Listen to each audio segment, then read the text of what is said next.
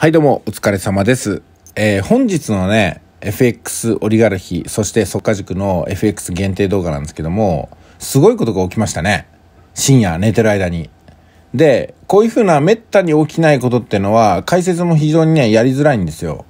まあ、というのが、テクニカルってよく起きることを、よく起きるままによく使っていくことによって成り立つんですけども、こういうふうに滅多に起きないことってテクニカルの中に対処方法ないんですよね。まあですんで基本的には相場から離れろってことなんですよ。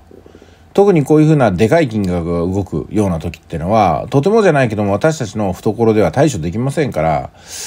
やっぱり今日はね、解説抜きとは言いませんけども、あまり期待しないで、その相場を落ち着くまで、嵐が収まるまで待つっていう風なスタンスを取っておいてください。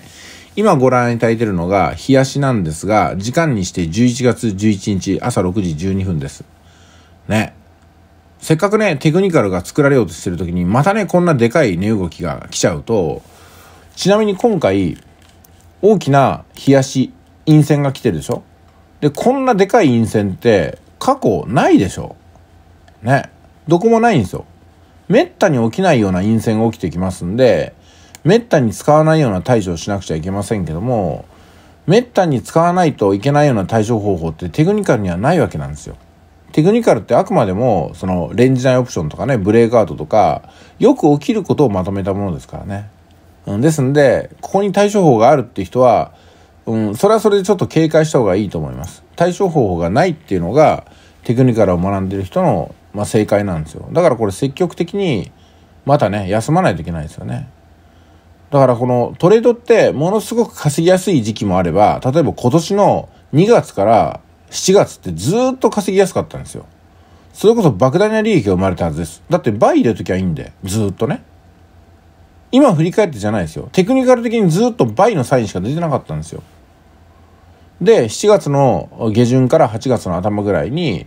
なんだか動きが鈍くなってきて、介入が入って、そして今に至るわけなんですよ。で、今回のこの陰線っていうのも5円ぐらい変わってますから、こんなのね、3兆円規模の介入だっていうふうにしか思えませんよね。まああの、準備資金っていうのをなんかね、あるらしいんですけども、日銀がそれをまあ、ドルを売却して円に変えるってことによってそれを3兆円ぐらいするとこの5円ぐらいの格差って生まれるらしいですけどね。しかもその売却によって財務省にはなんか数兆円規模の利益が転がり込むらしいんですよ。いいことずくめなんですよね。でも財務省はそれを隠していてそれを市民に国民に開放するんじゃなくて同じ分ぐらいの金額を国民から取り上げようとしてるわけですよ。一体どういうことだよと。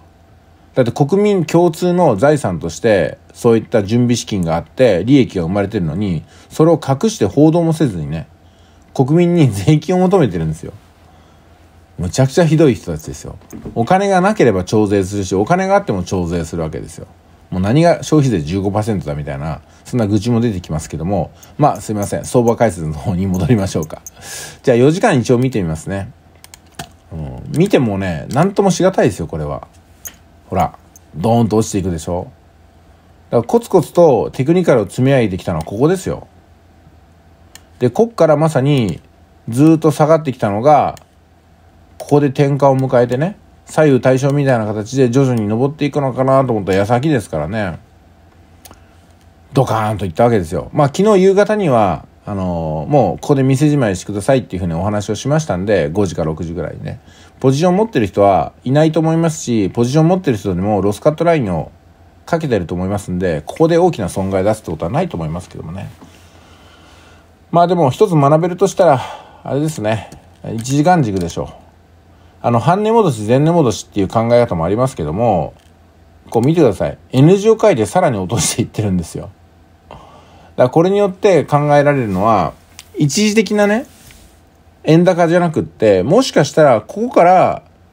あの、円高の方向に市場が向かっていくかもしれないなってことです。通常時でしたらこれが半値戻しになったりする確率が高いわけですよ。前値戻しとかね。でも今回はそうじゃなくって、前値戻し半値戻しもなくって、N を書いて、何のためらいもなくで下に行ってるわけじゃないですか。だから上手な人はここネックライン引いて、ここだけ局地的な、あの、何？テクニカルで利益上げてると思うんですよね。まあ、それはまあ、それでできたんじゃないかなと思いますけどもね。まあ、私はライブ放送したんでできませんでしたけど。はい。ということで、あのー、特にね、こうなるああなるっていう、これからどうするはありません。あの、皆様におかれましては、もう、ここで、基本的には、相場解説、今週終わりだと思ってください。ここまで大きな金額が、資金投入されていたらね、テクニカル的にはね、対抗できません。もちろん、ファンダメンタルなんていう世界でも、何ともできないと思いますけどもね。完全なるインサイダー情報の世界じゃないと、今回の相場扱っていきませんので、ちょっとね、あの、これは残念ですけども、金土日と3連休を取る気持ちで行った方がいいと思います。で、あと、そうですね、Q&A も更新してますんで、そちらの方をご覧いただいたりとか、講義を改めて見ていただくとか、あの逆にその、チャートを見なくていいんで、今、今日はね、今日とか明日も休みでしょで、金土日、チャートをお休みして、もう一回振り返って基礎をね、しっかり学ぶ時間に当てていただいた方が絶対にいいと思います。それでは、じゃあ今週は一旦ここで終わりのサインを出させてもらいます。不本意ながら、今週もお疲れ様でした。来週、ちょっとまた時間かかるかもしれません。月かあたりで相場が立て直されて、方向性がわかるようになることを願いつつ、お疲れ様でした。